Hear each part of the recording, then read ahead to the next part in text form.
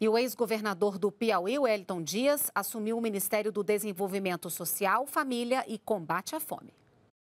Responsável por programas de distribuição de renda como Bolsa Família, o novo ministro afirmou que a principal missão é tirar o Brasil do mapa da fome. Mas, assim como está lá no nome do ministério, a prioridade no combate à fome.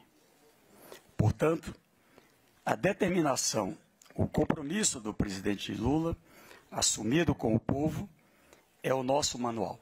O Wellington Dias aproveitou para agradecer ao Congresso Nacional pela aprovação da PEC da transição, que assegurou o pagamento do Bolsa Família de 600 reais. Hoje, mais de 21 milhões de famílias recebem o benefício. Para manter o valor, uma medida provisória foi assinada pelo presidente Luiz Inácio Lula da Silva.